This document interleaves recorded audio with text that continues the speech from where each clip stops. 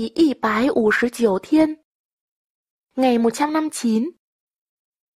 Thật ạ? Em thay xong rồi. 真的吗？我换好了。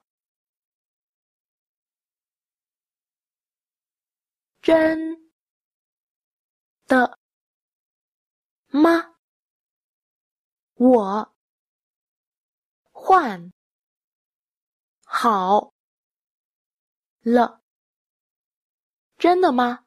我换好了。真的吗？我换好了。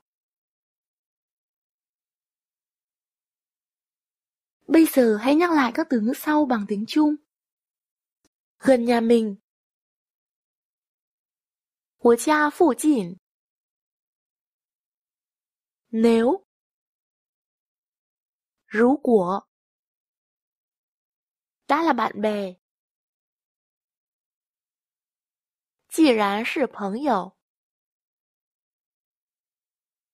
đồ uống. Yến品. Giá cả lại khá hợp lý. 价格又比较合理。合口味，合口味。 lợi hại vậy á? Trợ mới lì hại.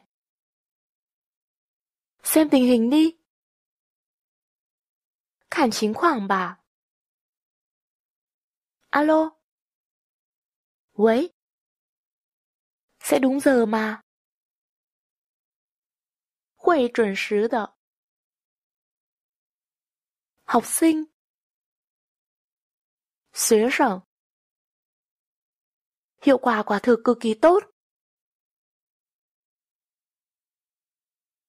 效果确实非常好。hiểu rất ít. 懂得很少。mình hiểu rõ.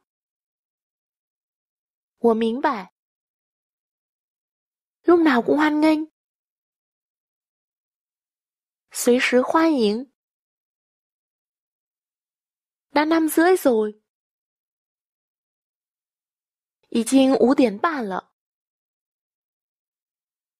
đi ngay. 马上去。Đi giày cao gót không dễ đi lại. 穿高跟鞋不好走。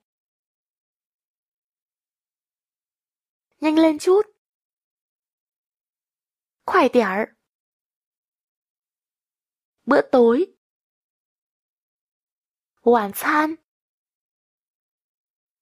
Thay xong rồi. Hoàn hảo.